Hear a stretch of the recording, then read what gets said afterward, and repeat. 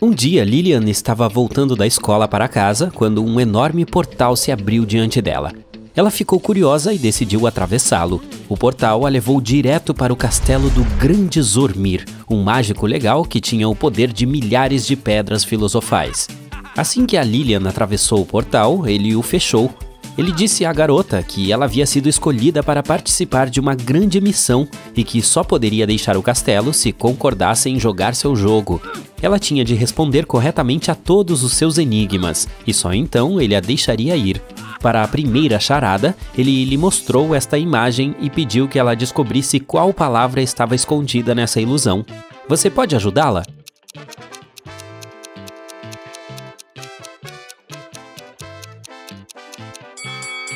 É a palavra sol.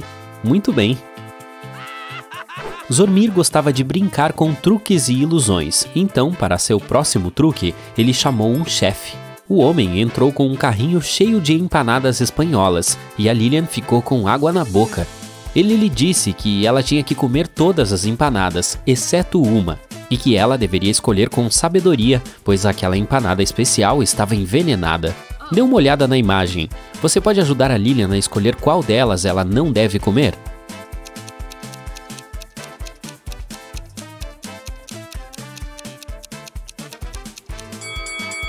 Vejamos. Aquela no canto inferior esquerdo parece suspeita. Ela tem uma gosma verde saindo dela. Provavelmente é algum tipo de veneno pesado, não é? Ufa, Lilian saiu dessa sem problemas. Em seguida, Zormir lhe mostrou uma pintura esquisita. Ele mudou a imagem da pintura para mostrar uma de suas ilusões. Você consegue descobrir qual palavra está escondida aqui?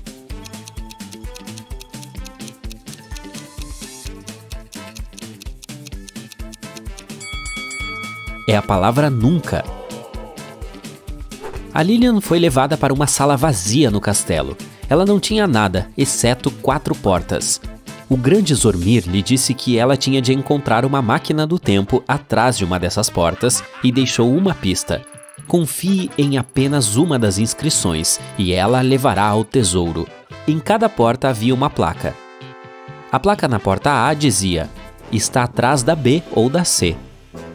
A placa na porta B dizia: está atrás da A ou da D. A porta C dizia: está aqui dentro.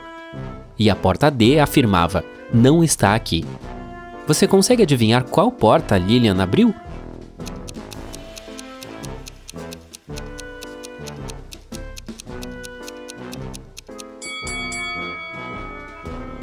Vamos ver como isso funcionaria. Se a máquina do tempo estivesse atrás da porta A, então B e D estariam dizendo a verdade. Mas se estivesse atrás da porta B, então tanto A quanto D estariam dizendo a verdade. Se estivesse atrás da porta C, então A, C e D estariam dizendo a verdade. Mas se a máquina do tempo estivesse atrás da porta D, então as afirmações em todas as outras portas seriam falsas, exceto a da porta B. Isso correspondia às regras, portanto, estava atrás da porta D. A Lilian abriu a porta e encontrou a máquina do tempo. Ao lado dela havia uma fechadura digital super moderna que pedia um código de acesso. O problema era que, além de números, havia emojis.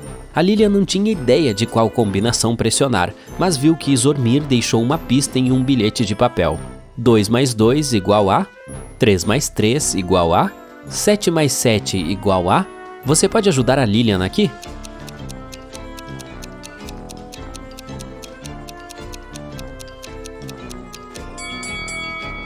Essa é complicada.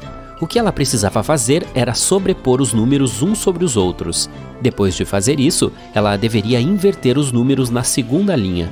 Dessa forma, ela obteria a imagem de um peixe, do número 8 e de um triângulo. Portanto, a combinação correta para destrancar a fechadura era o emoji de peixe, o número 8 e um triângulo. Caramba! O grande Zormir havia ajustado a máquina do tempo de volta à era pré-histórica. Então, a Lilian foi levada de volta para o passado antigo. Dê uma olhada na imagem. Você consegue identificar mais um viajante do tempo aqui?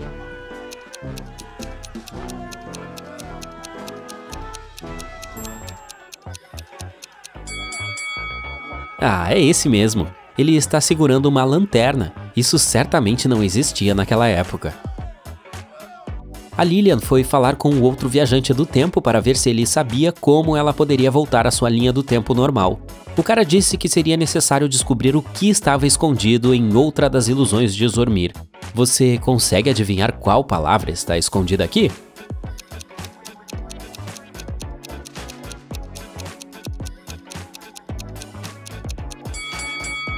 É a palavra cão. Muito bem. A Lilian retornou à sua linha do tempo normal, mas em vez de voltar ao castelo, ela se viu presa em uma ilha deserta. Havia uma nota do grande Zormir dizendo: O jogo está apenas começando. Você precisa encontrar a bruxa e pedir sua ajuda. Dê uma olhada na imagem. Você consegue encontrar algo que possa ajudar Lilian a encontrar a bruxa?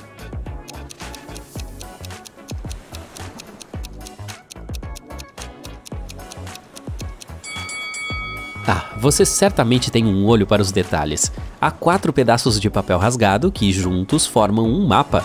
O mapa indica o caminho para a morada da bruxa. Caminhando pela floresta a caminho da casa da bruxa, Lilian se depara com um urso. Ela precisa tomar uma decisão rápida. Ela pode fugir do urso o mais rápido que puder, ou pode levantar as mãos e caminhar firmemente para trás até que o urso esteja fora de vista. Qual é a melhor opção para que ela fique em segurança?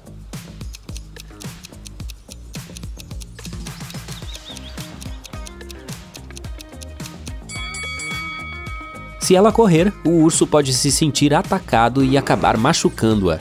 Ela deve escolher a segunda opção. Finalmente, essa parece ser uma casa de uma bruxa. Ela bate a porta e a bruxa a deixa entrar. Ela pede ajuda à bruxa, mas ela está preocupada com outra coisa. Mais cedo naquele dia, ela estava trabalhando em uma nova poção do amor com a ajuda de seus elfos, quando notou que sua preciosa pena de falcão tinha desaparecido. Ela perguntou se a Lilian poderia descobrir qual elfo tinha pego a pena. A Lilian respondeu que sim e começou a entrevistar os elfos. Arion disse que estava dando maçãs para as fadas na metade da preparação da poção e que, antes disso, ele se certificou de que a bruxa tinha todos os ingredientes necessários para o feitiço. Elohim disse que estava em outro caldeirão testando uma poção anti-envelhecimento. Ele também disse que tinha certeza de ter visto a pena antes de a bruxa começar o trabalho. Elaria afirmou que estava separando as ervas ruins das boas durante toda a tarde e não notou nada de estranho acontecendo na casa. A Lilian pensou um pouco sobre o testemunho dos elfos e finalmente descobriu a resposta. Você sabe dizer quem fez isso?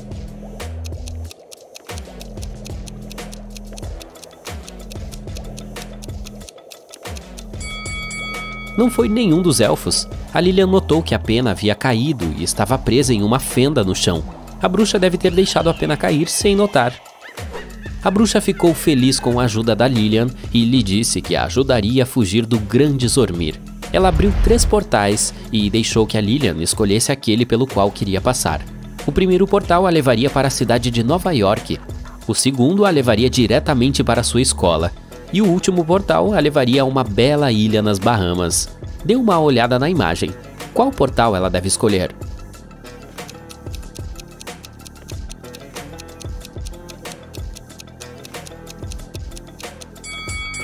Bem, poderia ser divertido visitar Nova York, mas está tendo uma enorme tempestade de neve lá. E por que alguém iria querer ir para uma ilha cercada de tubarões? A Lilian deveria voltar para a escola. Ela já perdeu muitas aulas.